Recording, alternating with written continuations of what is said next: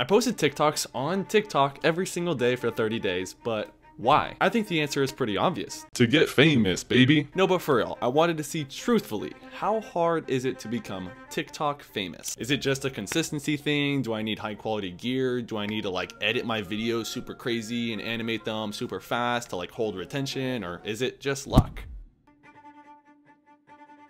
I quickly got to work and started consuming content with the intent of spinning a trend into my own version. You know, something I could stay consistent with and not get burnt out within the first week. And to be honest, editing will be the absolute death of me, so maybe something a little more raw and relatable.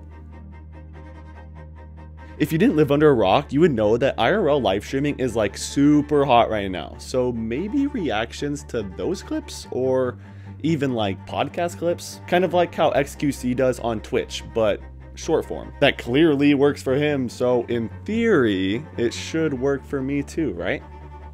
Perfect, so now that I have a good idea for content, I'm gonna rebrand this old TikTok account and name it something like Respectfully Tyler. Because I want my opinions to be said out loud, respectfully, of course.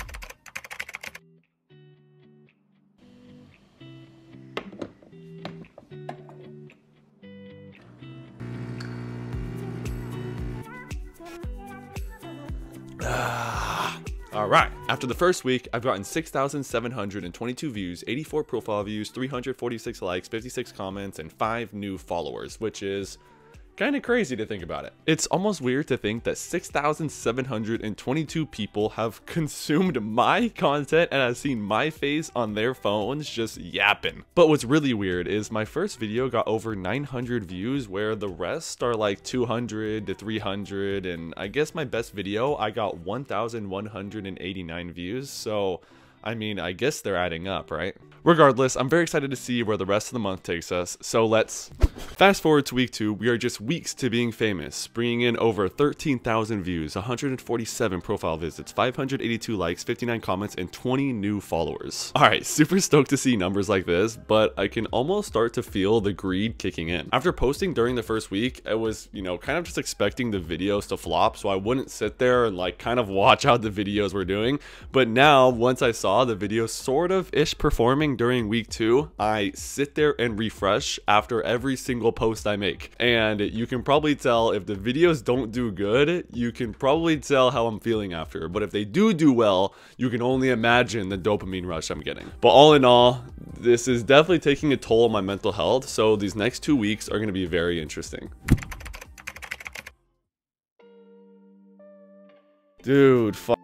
I had such a good idea, such a good transition for this segment, but I'm just so down in the dumps. I've been posting for the last three weeks. The first two weeks, improvement, improvement, improvement. In week three, just such a decline. Why? Am I, how am I declining with such low viewership in the first place? I don't know, but this might be the end of the challenge, guys. I don't know if my if my ego can take any more getting just a couple hundred views and my friends from my childhood finding this damn account and I guess I'll read I'll read what the engagement was for this week. It's horrendous. Bringing in over 10,000 views, 149 profile visits, 431 likes, 51 comments and 10 new followers.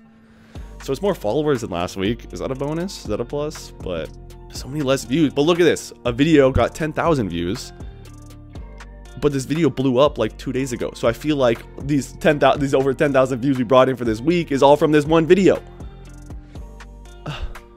Regardless, this whole posting thing has been an absolute whirlwind of emotions. But if you guys are even watching this, it means that I power through to week four. So maybe roll that. And now, after an incredibly embarrassing week 3 breakdown, welcome to week 4. Bringing in over 20,000 views, 225 profile visits, 820 likes, 66 comments, and 10 new followers. Let's go!